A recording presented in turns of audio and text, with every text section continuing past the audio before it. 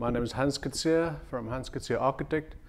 The role in the project was the architect principal agent. It's an existing building. It had a tented structure over it. The existing building consisted of a, of a tensile, tensile structure with an elliptical ring, concrete ring beam with an inner concrete ring beam that was placed asymmetrical into the building. The client's simple brief was get rid of the tent and make sure that the building complies to Ford Corporation's international uh, uh, corporate uh, identity, corporate CI, is that what they call it. So what we did is we started off with the client's brief in terms of Ford's international spec, uh, and we, we designed the building around that according to the client's brief. So we removed the tent, and that was that was as simple as it, what it was. It was a little bit intimidating in the sense that we had to work with with an existing structure and we had to develop the brief from there.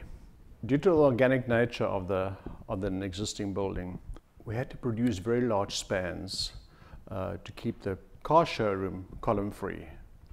And steel trusses and steel girder, girders was the obvious choice to, to use in this project. Um, it allowed us to replace the tent and it also allowed us uh, a decent amount of seating space in the building. So from the, from the ceiling down and the sandwich between the ceiling and, and the roof sheeting, we then could place our services that was previously exposed. All the lighting, cabling, air conditioning, insulation was all placed in, into the new cavity that, that, that steel allowed us. Uh, and we would not have allowed, we would not have been able to achieve that, uh, that goal had it not been for steel? Well, it allowed us, allowed us the flexibility of creating large open spans uh, in this particular project, and it allowed us a column-free, clean surface for the, for the car showroom.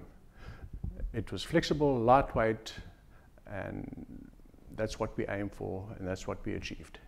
I would, I would say that due to the dealership and the dealership being a current commercial uh, uh, uh up and running venue, uh, the best part of this project was the time span in which we achieved our goal between the original building, the renovations, and, and the time frame that it, that it took for the main contractor to, to place his, his steel work.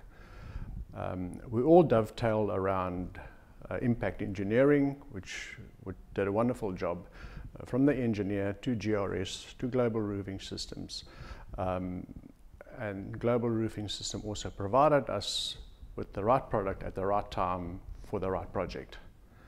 So that is, in essence, our, our best achievement uh, in terms of the part that I'm best proud of. We delivered it to the client uh, in, in, in, record time and um, in the two and a half months that the client allowed us to, to do the renovation for the dealership.